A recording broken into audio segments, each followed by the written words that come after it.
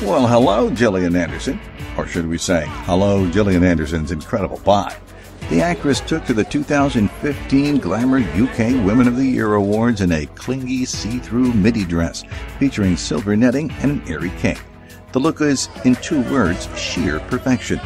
E! News really digs everything that's happening here, including the actress' strappy gunmetal heels, easy blonde locks, and minimalist makeup. Never mind Beyonce's new dress at the Met Gala. Gillian's look may win the prize for the best nude dress on the red carpet in 2015.